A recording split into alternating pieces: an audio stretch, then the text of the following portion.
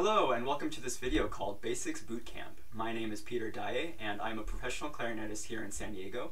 And with this video I hope to teach you some um, really important fundamentals for clarinet playing. These are really basic ideas but really really important for playing well, producing a good sound, having a nice focus tone, having good clean fingers and technique, things like that. These might be things that you don't know um, and I hope you learn from that. Or these might be things that you do know, and um, it's always a good reinforcer to hear these things again. So what I'd like to start with is just talk a little bit about the embouchure and um, how to produce an embouchure, what a good embouchure is, things like that. So we always start with the lower lip, and the lower lip must be wrapped against the bottom teeth really firmly and tightly. So you want to think of Goldilocks here in that we don't want too much, we don't want too little, but it has to be just right. And what just right is, is if you think about the skin of your lip and the skin of your chin here, where you have that little line, where that line is, that's what you want to think about resting over your bottom teeth. And one exercise for that, really basic exercise, is if you just take your bottom lip, put it all the way in your mouth, and very slowly pull your lip out using these muscles here that we use to engage and hold the embouchure. So try this all the way in and all the way out very slowly until you reach that point where your lip and chin meet that line there and you want to rest that against your bottom teeth. Again, let's try that one more time. All the way in and all the way out until you reach there and then you really want to hold that. Okay, and then really use these muscles here in your chin and jaw to really engage and hold that lip in place. The other important thing is having the jaw pointed all the time. And again, we use these same muscles here to really develop that and hold that chin in place. So we want a pointed chin and a really firm lip. The importance of the chin is we, we point the chin so that we don't have too much jaw pressure on the reed. Um, if we have too much pressure, we might close off the reed, we'll have trouble getting air through the through the mouthpiece, things like that. So you want to make sure your jaw is nice and neutral, not clamping down or too tight, and that your lip is nice and pulled and firm. We want a really firm lip because we want a really hard surface for the reed to rest on, like this, so that um, the hard vibrating reed isn't stopped by a soft lip. We don't want to absorb those vibrations. So we want to keep the lip really firm and taut, nice and taut and firm.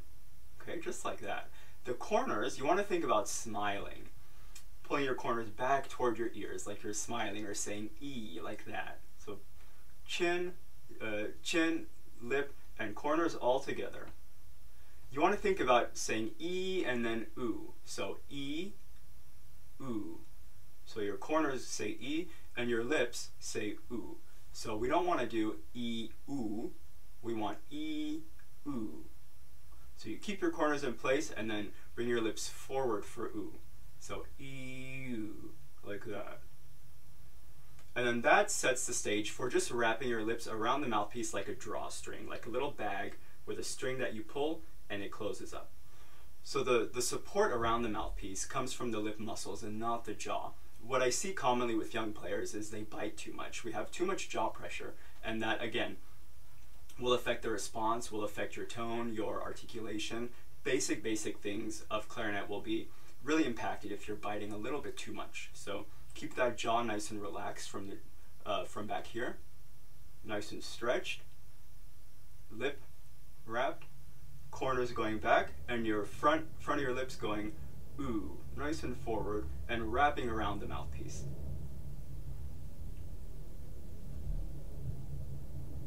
So the top teeth have a very, very small job to do. They just rest on the mouthpiece. That's about it. We don't bite, we don't clamp down, we don't bring the weight of our head down onto the onto the mouthpiece, just really gently, neutrally, hanging there, okay? And one more thing about the mouthpiece is, uh, what I see with a lot of young players is um, they don't play with enough mouthpiece. So one thing you can do to see how much mouthpiece you need in the mouth is if you take your mouthpiece, your clarinet, and look through it sideways like this, um, you'll notice there's a little gap all the way at the top here, and that gap becomes smaller and smaller as you go down the reed. The point at which the reed and mouthpiece meet is called the point of resistance, and that point is where you want your bottom lip to be, at least at that point. So if we're playing, if we're looking at it like this, not sure if you can see very well, but let's see if that can focus. There we go. So there's a little tiny gap there. And if your bottom lip is maybe about here, what happens is when you go to play, you're going to shut the mouthpiece. You're going to shut the reed on the mouthpiece and you're not going to get any air in there. So it's important that your bottom lip is a little bit farther down so that when you go to close up, we're not going to shut the reed and you're going to get all that air into the mouthpiece. One way to try this is um, through muscle memory, you're going to learn and memorize how much you have to open the mouth, how far the mouthpiece goes in, all those things. And one example I like to use is we've all seen those little uh, wooden wedge door stops in our classrooms. This is kind of the same thing. So this is the door stop and this is the door. So when we open the door, we put the door stop in and the door does not continue to close. So once we put the mouthpiece in, we don't shut and clamp down. Through practice and muscle memory, you'll remember how much you have to open and how much it goes in, and you'll just get it right every time after that. So after the mouthpiece goes in, the lips just wrap nice and firmly around the mouthpiece. We don't engage the jaw, so keep your jaw nice and neutral and out of the equation completely. And then finally, regarding jaw pressure, again, we want very little engaging of the jaw. We want to keep the jaw nice and loose. We don't clamp. One way to test this is if you're playing and you just kind of wiggle this around. If it wiggles like that, that's, that's too loose. You maybe want a little bit more grip, a little bit more firmness from the lips, but if your head shakes around with the mouthpiece, then you're gripping too much. So we want a nice happy medium, something just a light, lightly firm grip. When you're practicing, I suggest starting just with the mouthpiece and barrel and if you have a tuner handy, you can test this. The mouthpiece and barrel should produce an F sharp on your tuner, a concert F sharp. So if you're looking at this tuner, I'm going to play this little tiny instrument here.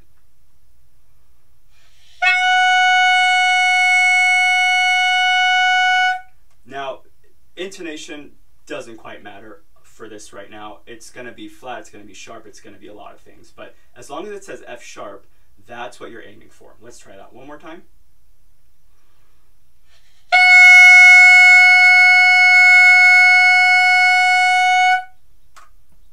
Some student clarinets, um, cheaper quality models, um, sometimes you'll see a G, sometimes you'll see a really flat F sharp, things like that. Don't stress too much about it. You want, whatever it says, you want to just produce a really nice, steady, tone, not a tone that's wobbly or bumpy and lumpy, just something nice and steady.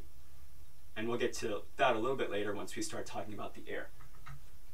So moving on now, um, a sometimes overlooked idea is the this idea of the inner embouchure. So we know the embouchure as the outside, but what happens inside is equally as important. So um, some things to keep in mind here are um, you want to keep your tongue in a really high arched position inside the mouth. So looking like a roller coaster like this. So the air comes up the throat, comes up the mouth, and then down the tongue, shoots into the mouthpiece. This is really important because for a lot of younger players, we keep the tongue kind of in a flat uh, position inside the mouth. And the way that uh, moves the air is kind of like this. We shoot onto the reed. We want to be directing that air into the mouthpiece. And one way to achieve that is by maybe thinking um, words like he or we or key or hissing like a cat even. He. Because what that does, it's going to arch your tongue. It's going to bring the sides of your tongue to touch your back top teeth, which is where we want it. Nice and high and arched in the back of the mouth.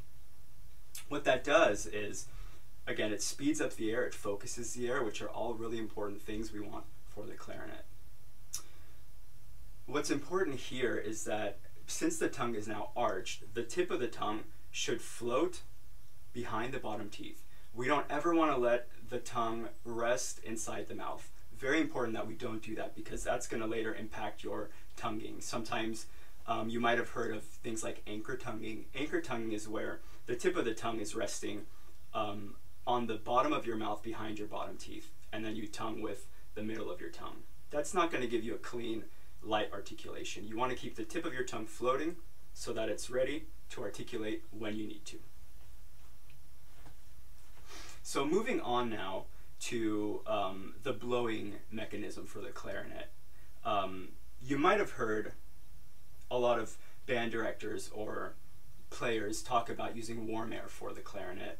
Um, that's not a really good idea because the, the mechanics of producing warm air aren't really correct for the mechanics of playing the clarinet. So warm air is very slow, it's very wide, there's no focus in it. We want to always think for the clarinet really fast, cold, dense air. And the way we achieve that is by really engaging the core. So the core is your abdominal muscles, your side muscles, uh, the obliques, the muscles between your ribs, the intercostal muscles, your back muscles, your diaphragm especially. All these things here in the middle of your body, the core, are what we engage to really speed up that air. So if you think about maybe if you're blowing on something hot in front of you to cool it down, what happens in your belly when you blow cold air? Try blowing warm air, like you're fogging up a mirror, and then try to blow really cold, fast air. And I want you to feel what's happening inside. There's an engaging that happens in the belly. That's what we want. We want to really exaggerate that squeezing feeling as if you're being prepared to be punched in the stomach. That's what you want to do. You want to really flex the middle of your body. That's going to speed up your air. That's going to give you a really dense, uh, cold airstream that we need for the clarinet. That, in addition to the arched tongue, are really going to produce a nice, fast airstream. And that's what's going to give you a nice, full, supported tone. So what can we do then to uh, reiterate and really practice all these things together? One really good basic exercise that we've all heard of is just simple long tones. Long tones are very simple technically. They have very little to do with the fingers so that they allow you to just focus on one or two things at a time. In this case being embouchure and air. So with your long tones, what you want to listen for is a really clear, steady tone, a tone that looks and sounds like this, not bumpy, not wavy, not lumpy, any of that. And that comes from your jaw, your embouchure, your tongue position, all those things being nice and still and firm and your air being nice and steady and strong. And that's what really one of the easiest ways to practice um, learning your embouchure and your air. And one just really simple long tone exercise would be to just take a scale, any scale, a chromatic scale, a major scale that you're working on, doesn't matter what it is, and just practice it one breath per note. So you're going to hold out a note for a full exhalation, full breath, and then once you're out of air, take a few seconds, breathe, fill back up, go on to the next note. Same thing. And that whole time, just listening for the clarity of your tone, the steadiness of your tone, feeling your air being nice and steady, feeling your muscles engaged, feeling your chin and your embouchure nice and steady, nothing's moving around. That's what's going to give you the best tone possible. So moving on now to um, hand position. So we've got the mouth, the blowing out of the way. Let's move on to the hands. And this is where, um, again, everything's important. This is where uh, some things are going to make you or break you as a clarinet player. So hand position is really, really important for a lot of reasons. And we're going to start with the top hand, your left hand. Um, with your left hand, you want to make sure your hand is slightly angled on the clarinet. So we don't want a flat hand position like this. You want your hand to be a little bit angled. There's a few reasons for that. First of all, this key right here is not in line with the rest. See how it's a little bit pulled out? These are nice and straight, and then this guy just boop, goes out to the side. The reason for that is because the clarinet is designed to be held a certain way. If our left hand is flat like this, first of all, this finger becomes too long, and we overshoot this key. But if our hand is flat, we can't really use these keys here. So because of that, we need to angle our left hand so that we can easily access these keys here, but then so that our ring finger, our fourth finger, is perfectly in place for this tone hole here. The reason we want our hand angled is because, again, for accessing these three keys here, but more importantly, is to allow you to roll and cross the break more easily. If your hand is flat, this rolling idea becomes really difficult to do, and crossing the break might be problematic for you if you have that issue. Think about your hand position. So, slightly angled like this. One exercise you might want to try, it's really simple. Just put your hand in front of you, bring your wrist down like this, and then pull your wrist back toward you. And that's going to help you learn this hand position, but also to keep your wrist low and wrapped around the clarinet. We don't want elevated wrists like this. You want your wrist nice and neutral, okay? The fingers should be nice and rounded. We don't want flat fingers. We want nice, uh, gently rounded fingers like this. The fingers, how we move the fingers, you want to think of your fingers or your knuckles as, as if they're a hinge. And so if the fingers are rounded, we only move from this hinge. We never move from the front knuckles, only ever the back knuckle. And we do that to preserve that rounding of the fingers. If your fingers become flat, this is not good because this translates into really mushy, slow technique. And we're going to hear that. We're going to hear uh, slow note transitions, slow break crossings, slow leaps, things like that. And even sometimes squeaks. This is really, really a big culprit sometimes for squeaks because if we close like this, see that? It's almost like two actions. We have the initial down and then another movement in the knuckle there. And what happened, what, what this causes is that the tone hole is not closing all the way right away. So maybe the front of the hole closes, then the back of the hole. So to eliminate that, we want to make sure our fingers stay round and they move only from one place.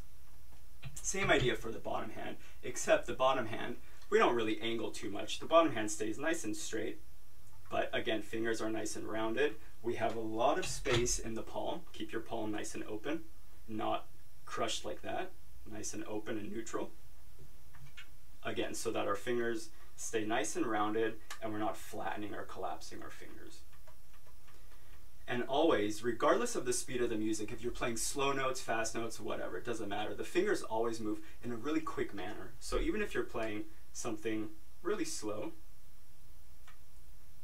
the fingers always move really quickly. And that's really important because, again, if you're playing something slow, if your fingers move slowly, you're going to hear some fuzz, um, some maybe even a glissando or even a squeak. So it's really important that your fingers move very quickly and no changes happen very quickly when we're playing the clarinet.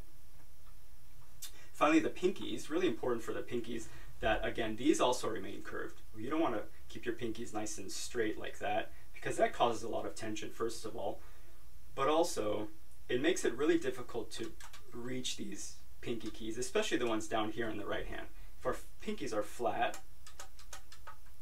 eh, or I mean straight, it's really hard to reach, especially this one, because you run out of room. So you want to keep your pinkies really rounded, but also you want to aim for just the very edges of these pinky keys. And that's going to help keep your pinkies rounded and give you enough space to move about the clarinet. And finally, what I want to talk about is just some general ideas of practicing. Um, when I was younger, I used to get really tired uh, practicing for a long time. So, um, what I've learned in my experience is always take breaks. Breaks are really, really important to clear your mind, to come back to the instrument fresh. So what I do is about every hour I take 10 minutes off, or every 30 minutes, five minutes off if you're only practicing for 30 minute chunks. But if you're doing longer, you want to take longer breaks. So my rule is every hour I take 10 minutes off. So I'm practicing 50 minutes at a time, 10 minutes. I leave my practice space. I leave the clarinet. I leave my studio. I get away from the clarinet. I clear my mind.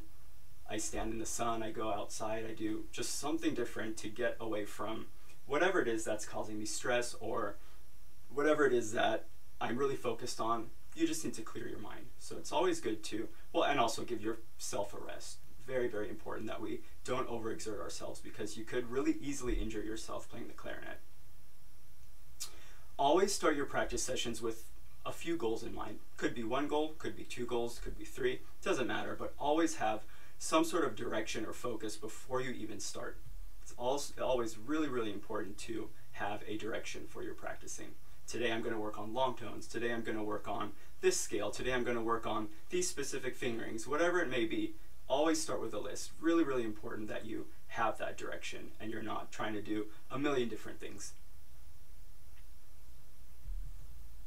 And finally, um, this idea of practicing. So I talk about this a lot with my younger students, um, how effectively and efficiently you can practice.